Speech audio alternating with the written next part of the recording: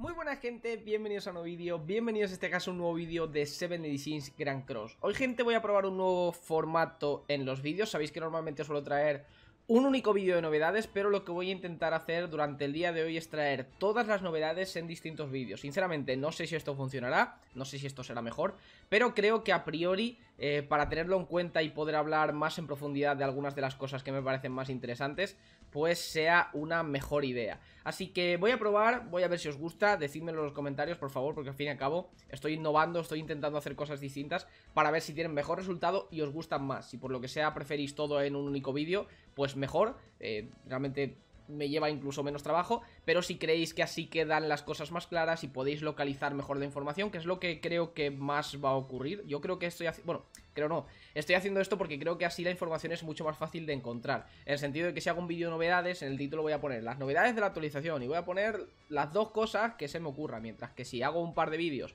o cuatro, o tres o cuatro o cinco vídeos de distintas cosas, puedo nombrar a cada vídeo por su título, por... Eh, analizamos esta cosa y vemos qué es esto y yo creo que es bastante más interesante. Sí que es cierto que habrá cosas de las que no merezca la pena indagar, con lo cual no hablaremos mucho de ello, pero creo que es más interesante.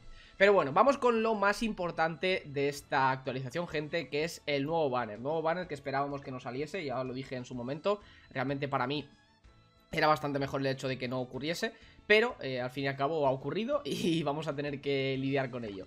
¿Qué es lo que pasa, gente? Tenemos este primer banner por steps y aparte tendríamos esta barra de progreso de aquí, que sería totalmente distinta a la que normalmente tenemos en el resto de banners, ya sea el de y todo lo demás. Tampoco voy a indagar muchísimo más en esto, porque ya lo hemos hablado en más ocasiones y creo que es bastante redundante. Pero bueno, como os mencionaba, teníamos esta barra de progreso que se va a llenar conforme vayamos sumoneando. Si os fijáis por aquí, en cada uno de los multis tenemos 10 puntos de lealtad. Sinceramente no sé si los multis de un diamante, que es lo que os mencioné un poquito más adelante, te garantizan como tal el hecho de que eh, vayan subiendo esos 10 puntos de lealtad cada vez.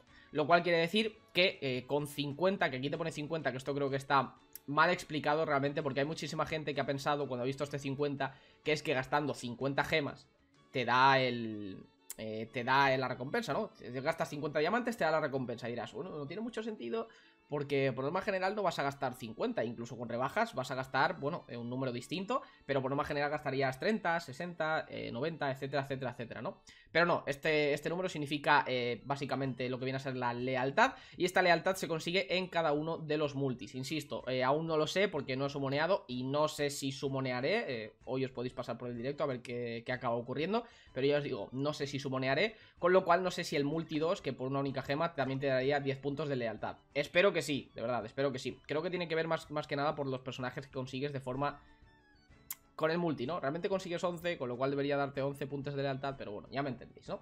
Así que nada, como mencionaba, tenemos estos puntos de lealtad que serían eh, rellenando. Estos tres eh, colgantes de evolución la verdad es que se agradecen bastante. Ahora mismo estoy muy pero que muy escaso de colgantes de evolución y únicamente se conseguirían eh, tirando 5 multis, que a priori sería hasta aquí.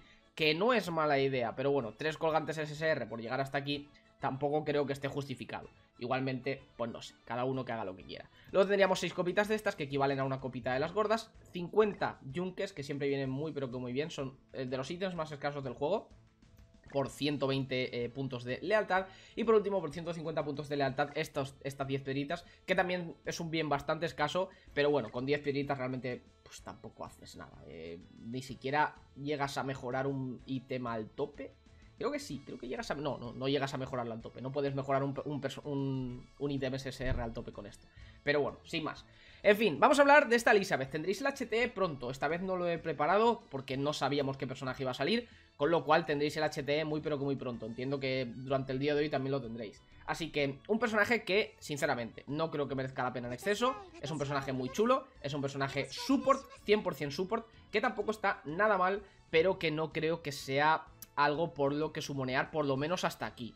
Es el típico banner al cual le podría caer la multi de respeto como pasó por ejemplo con el, con el banner de los Soul 7. En este caso el multi eh, no te no va a tener un rate extra de SSR como tenía el banner de los Soul 7, que era lo que a mí realmente me hizo tirar. Ese banner de los Soul 7 dije, bueno, es un 7% SSR, me renta probar, a ver si hay suerte, vamos a probar. Pero con este banner tenemos de nuevo un 3% SSR. Y sinceramente, no creo para nada que merezca la pena tirar un banner de un 3% SSR por un personaje como este. Por lo menos hasta el final, insisto, la típica multi de respeto o un par de multis, etcétera, pues siempre puede venir bien, tampoco es, una es algo descabellado pero sinceramente yo creo que no es de las mejores ideas. Pero bueno, tendríamos esta Elizabeth, que insisto, hablaremos más en profundidad sobre ella, sobre el HT, pero tiene cosas muy interesantes como deshabilitar las habilidades de desventaja y cosas así que vienen muy pero que muy bien en según qué situaciones las cuales, pues bueno, nos va a proteger al fin y al cabo. Así que no está nada, nada mal. Luego teníamos una carta que eliminaría las desventajas, eliminaría desventajas y curaría en función del ataque, etcétera, etcétera, etcétera.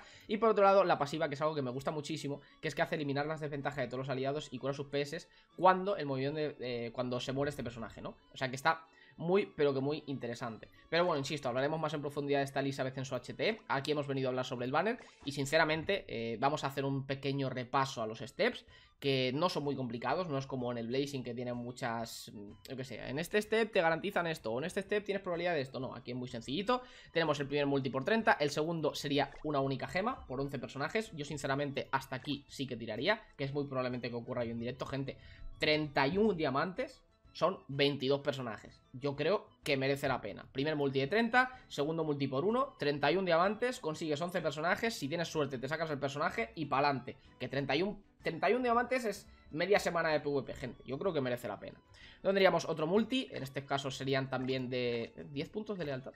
¿Lo pone aquí? Es que aquí esto no te da lealtad. Entiendo que no te da lealtad si no pone esto, ¿verdad? Esto tampoco te da lealtad.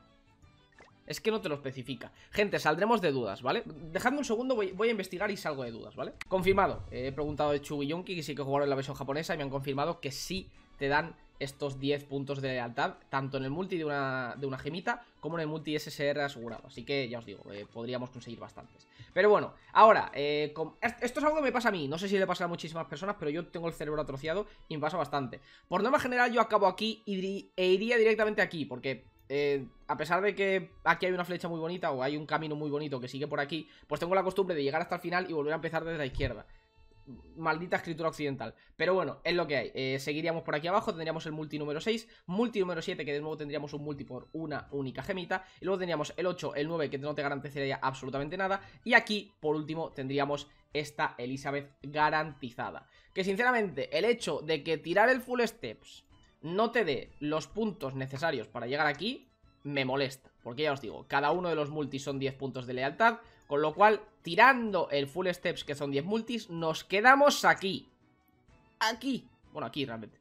Eh, no está muy... Bueno, sí, está bien. Aquí nos quedamos. Sinceramente me molesta. Me molesta porque, bueno, eh, realmente cuando llegues aquí ya has hecho todo lo que tenías que hacer, aparte de gastarte una barbaridad de gemas, y te quedas aquí. Te quedas aquí. No lo entiendo.